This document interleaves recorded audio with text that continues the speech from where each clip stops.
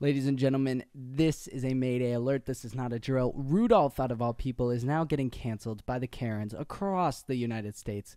First takes on that. I, I just can't even. I'll let you get into your thoughts, but I need to explain this to you because this is absolutely absurd. See, I got that article today, and I was from TJ, and I was like, "Nah, this this got to be a joke." It can't I thought be these real. petitions were like not as serious, so I didn't think they were actually gonna fall through. But then I read that shit, and it was ridiculous. Ridiculous. People want to remove it. That that Doesn't make How long has that ship been airing now? For It's like been, I think, mm, forty. longer than I can long, longer than I could think. I mean, the, the, the, the, the, the problem with this is parents have now for those of you that don't know there's a great article about it but parents have now um, for some reason have now just gone over to uh, petition sites and actually uh, petitioned to take rudolph the red-nosed na- reindeer off the air that's absurd and you know why folks? on ABC. you know why folks what On ABC. on abc we're also live on uh, instagram by the way if you want to say hi Wait, What's good, oh, everybody? wait, wait, oh here we go What's good? What's good? Y'all tuning in right now, right? Yeah, they're in the live version. There we go. Getting it live. Anyway, uh, what I was saying was this is just absurd. Uh, out of all the things you could possibly cancel, you cancel the happiest thing on earth, Rudolph the Red-Nosed Reindeer. I don't even, I don't even think. That, that, movie like encouraged me out of all things. That's what I'm it made me saying, and, and, and, and that's funny that you mentioned that because the the Karens out there and, and the Marins, we, we gotta give. The there's some Marins out there. Ma- I shouldn't just say. Karens, but the problem is, is that everyone says that oh, Rudolph promotes bullying, and yeah, there's some bullying scenes, right? He's the reindeer. He's he's a little different than everyone. He gets excluded, Yeah. whatever, right? it happens. It happens. Uh, I- and and the problem here is that the problem is parents don't want to. Th- The parents don't want to. Instead of just signing a petition and trying to take it off the air, instead make this a teaching moment with your kids. Sit them down, watch the movie with them, and say, "Hey, what are you absorbing from this? Are you? Yeah, we see bullying, but Mhm. how can we make sure that you, as my child, don't play this out in your world? Or if you see bullying, tackle it and and and, and get it done and get it push it out of your environment." Yeah, see, I find that crazy because I'm just like, that is true. I like the way you think like that. Right. I'm just like, at the end of the day, it's just a. It's just a It's just movie, TV. a cartoon. How are you going to cancel a cartoon? I swear today you could put a rock in front of someone and they'd be offended somehow. I don't understand. I don't it. understand how they could take offense to that. I mean, the problem here is, folks, the problem is here, for folks, bear with me. Again, like I said, they should be using it for a teaching moment, but it's things like this where I just laugh at my generation. I mean, it's funny that the generation that grew up with Family Guy, South Park, all these crazy shows, it's funny that they, out of all generations, they're the ones that are offended by things. Come on, people. It's really sad to see. I'm like, it, it actually like mind boggles me today. I mean, how it's like Yeah. with other shows too. Yeah, I mean, Rudolph the Red-Nosed Reindeer is a classic, right? We tell it to our kids, and yeah, it's been airing for so long. I mean, they did try to cancel the song "Baby It's Cold Outside," and that's a little more understandable because, especially in the Me Too movement, Yeah. movement, and if you watch the video, it's a little on the fence.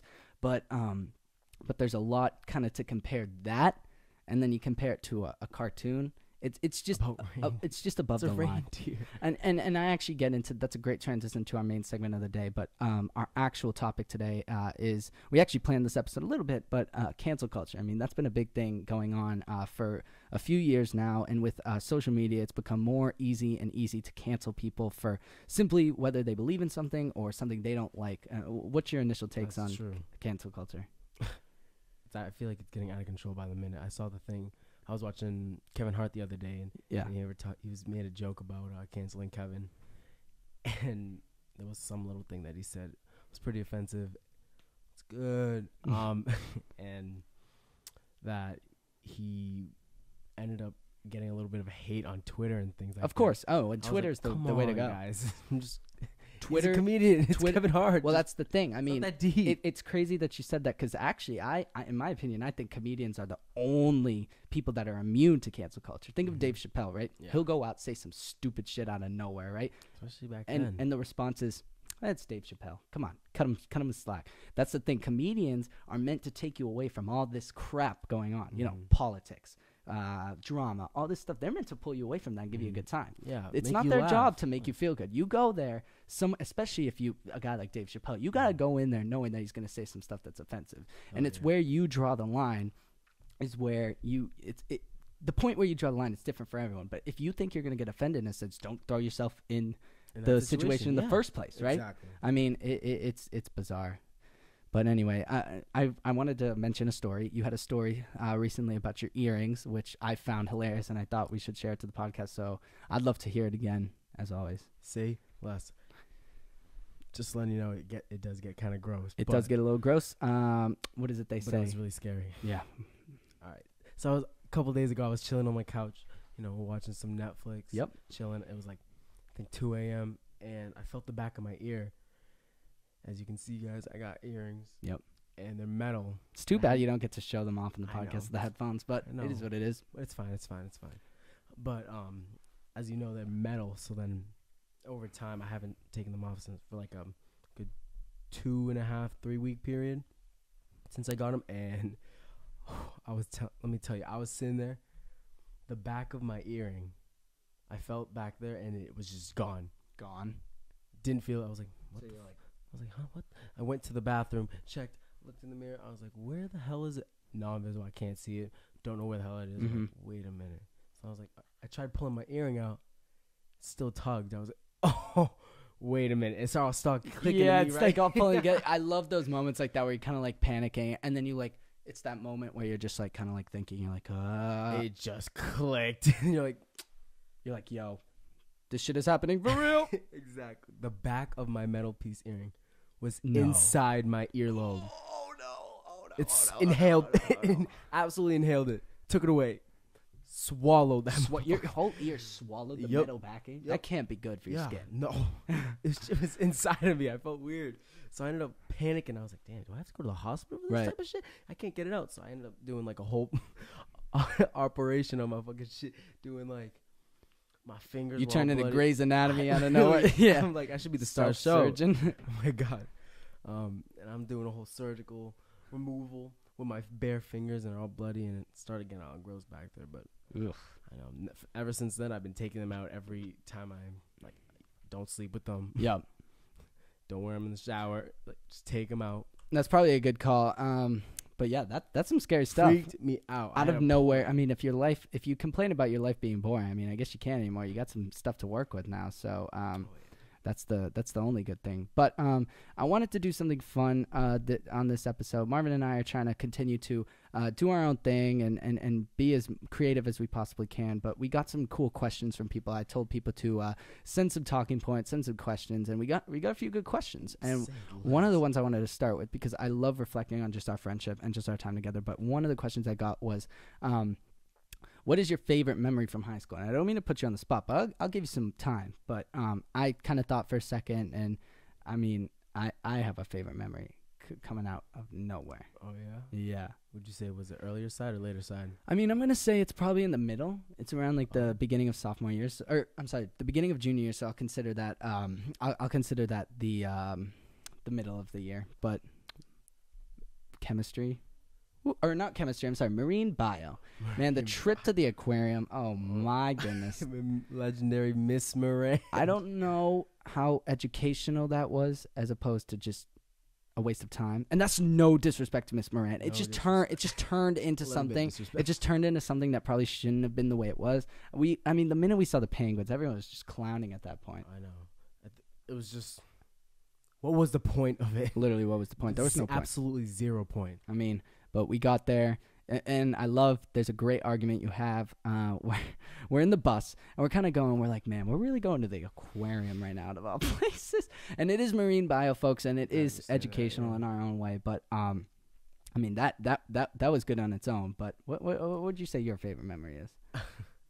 Probably my favorite memory was no bullshit. Like when we all met as a friend group, Hmm. we all started. Which is kind of like what we talked about last week. exactly. But but that was just one of my favorite moments. But I think can I list a second? yeah. All right. The second moment was when we used to hang out with Demetrius. Oh yeah. Shout out Right. Demetrius if you're watching. I know he's doing AAU or something like that. Yeah. Hope all's well. Minute. Six eight for no reason. six eight Greek male. Crazy. I know. Um, back then we used to um, paintball.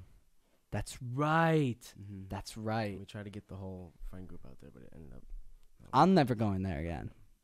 tough time. Probably Bad not. memories. PTSD. PTSD. Oh my god, I got rocked.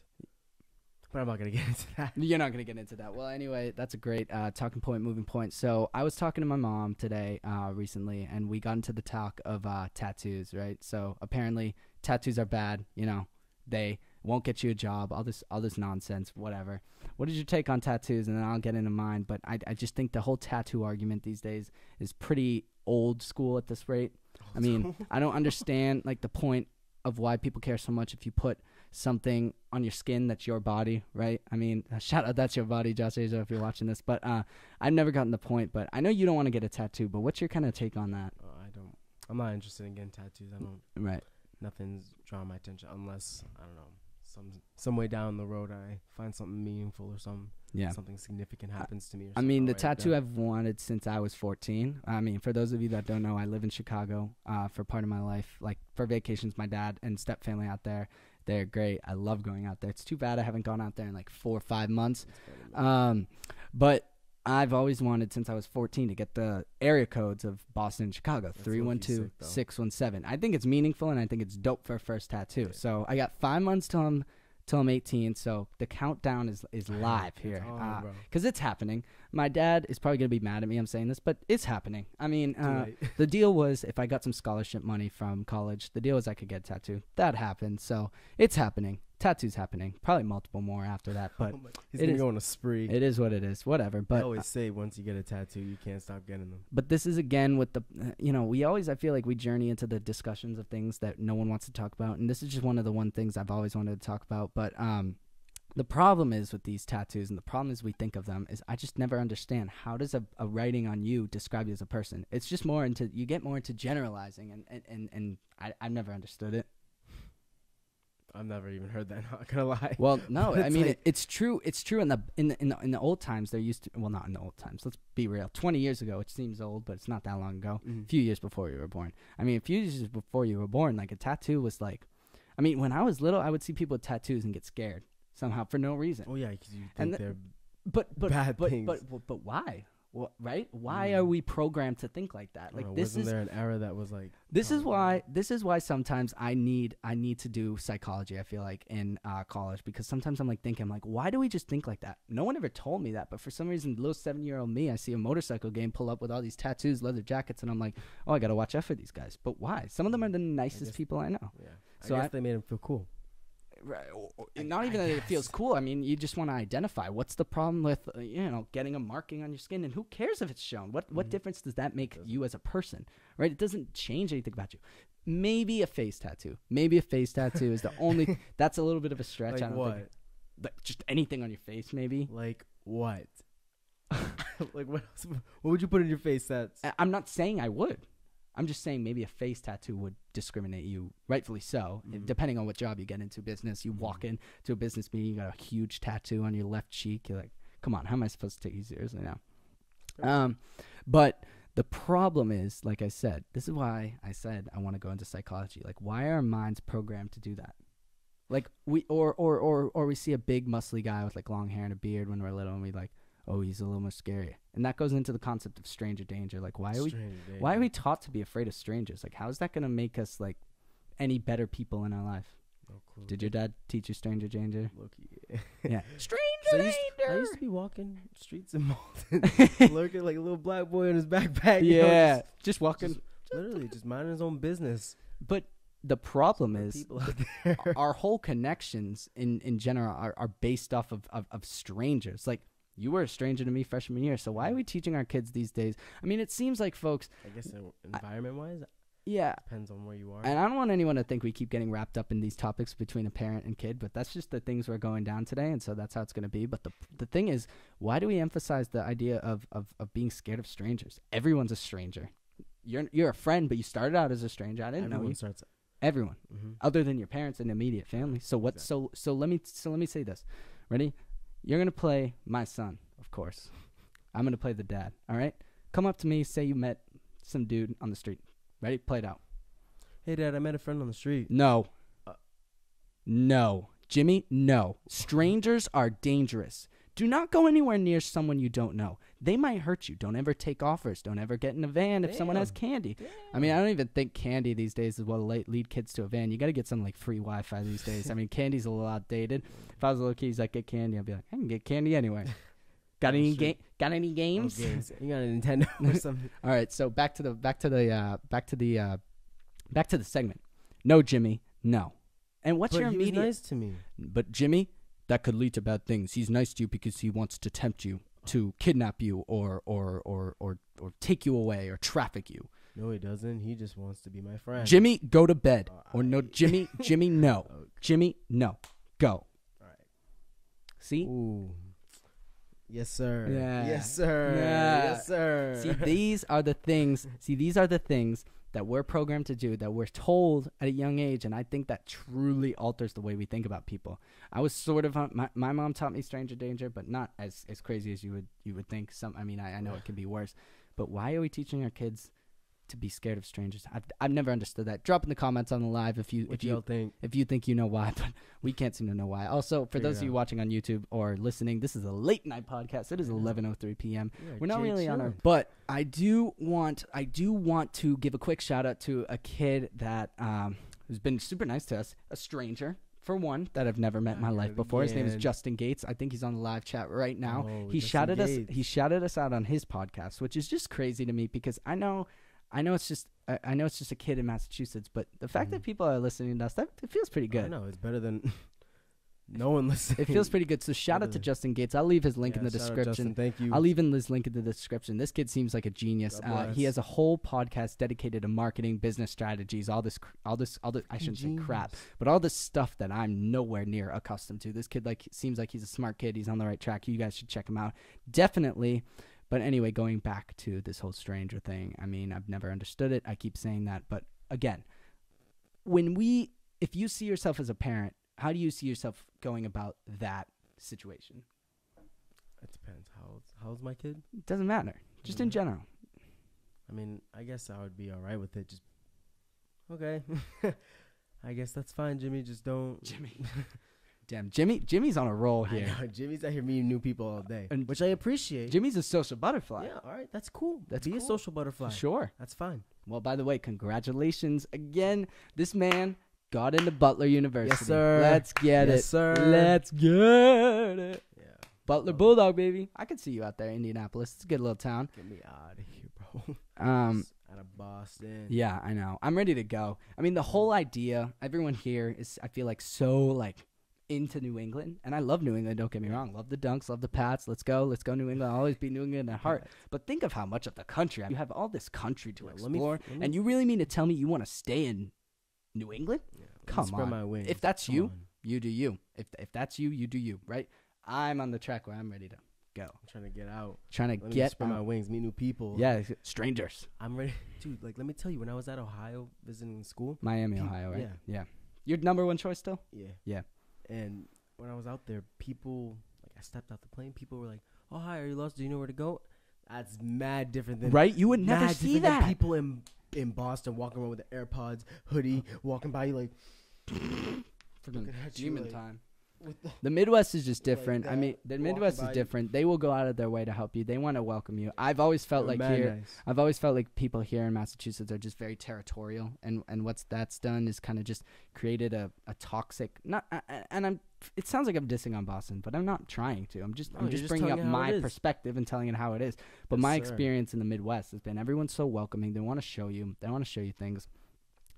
I uh, my number one school is the University of San Diego, actually. But over this week, I've kind of had like a a little Why is a that so? a mind blowing moment only because I want to go into TV and film. Like my dream, if you ask me right now, I want to be on ESPN talking about sports, about how you know all these whatever, or the news maybe. But I'm looking at all these schools. I'm DJ the weather man. no, no weather. No. oh, you don't. So we're gonna have a little cold front here on the left side, and then uh, coming in on the right is a storm coming in, and uh, and temps in the low hot, and then you gotta make small talk on the weather. So it's kind of weird. You gotta make some weird puns. You definitely gonna need some sunscreen today for the beach days. Probably no sunscreen here, but definitely uh, take out the raincoats for uh, Saturday. Yeah, no, that's not really me. Um, but but if you ask me now, I'm trying to get into a TV studio, behind a camera, or, or Mhm. excuse me, in front of a camera, Got you. and I'm looking at San Diego and Marquette University in Milwaukee, yeah, in Milwaukee, Wisconsin. Those two are probably the two. One, I'm gonna end up at one of those. I'm pretty confident. Got you. Got you. I really wanted to go to San Diego for the longest time. You know that. I got Yep. obsessed. I started Obsessed with lifestyle. And I mean, who who doesn't want to go to San Diego? It's 72 I mean, degrees. you, like you said, you just want to go right from class, go right in the surfboard, hop right in the ocean, get some food. refresh. Yeah. I mean, not like you, not like you have time for that in high, in college or anything, Oh. but we make time. Okay. We we make time. But anyway, the San Diego lifestyle kind of took o- took over in my head, um, and I was kind of like, okay, they have a great communications and media program, but it's only a program. Marquette has their whole school, Diederich College of Communications, digital media, advertising, marketing, broadcasting, all this stuff. So in my head, and this is a tip for any juniors that are applying. You don't always want to go to the school that you like the most. You you may want to think, what can this school do for me? And it sounds a little selfish, a little douchey, but Mhm. you have to think. You're paying, you know, five digit figures to go to this institution. You need to make sure you have a return on investment. So I'm looking at these programs. I'm like, which one is going to be the best for me? I see, yeah, San Diego has a good program, but Marquette has a whole school full of different programs. So in reality, Which one you want? Exactly. So exactly. So I say I want to go. I want to be in front of the camera on a news show one day, right? How can I get there the quickest and fastest way? Most likely the one with the school. More connections, more opportunities, and Milwaukee is a is a really big city with, with full of different opportunities. Um, and in in my head, I'm kind of saying, okay, San Diego rocks, but like I said, what's gonna get and, and, and like I said, for juniors looking to apply, even sophomores, even younger, think of that ahead. It's okay if you don't know what you want to do, but if you have a goal, you got to think what's gonna get me to that goal the fastest, right? You have a goal out in front of you, and you got four years in between where you are now. You choose how you want. Exactly. So I think I'll be fine whether I go. I could. I, I feel like I'm. I could go to any school and end up doing what I want to do and, and make it a good With the same experience. amount of education. Same amount of education.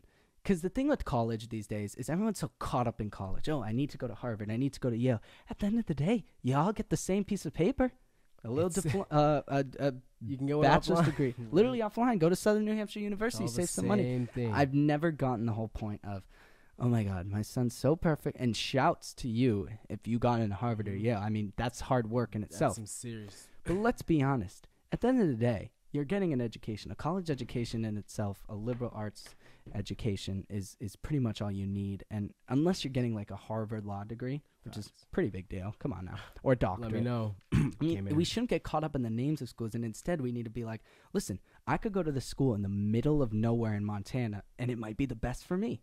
Sure, you're know. laughing at me. I'm in the middle of nowhere, Montana, with the freaking buffaloes and and when you could have been at BC in Boston. but or- whatever, right? Yeah. If you Or think you Miami. it, what, like whatever if you are at a school where you think that you're going to get to your goal the quickest fastest and most efficient way screw everyone that tells you differently right Mhm. and now i wish i mean I, I wish i thought of that in a sense before because with me i get caught up in names oh you know marquette's cool it's a it's a well-known school like so what if it's well-known Doesn't matter. You choose how you want to do it. exactly so Doesn't matter what they say. I've taken up a lot of speaking time, but I'd love to hear your points on uh, on colleges now in terms of that. Don't mean to put you on the spot, but let's hear Marvin's take. CEO of putting me on the spot.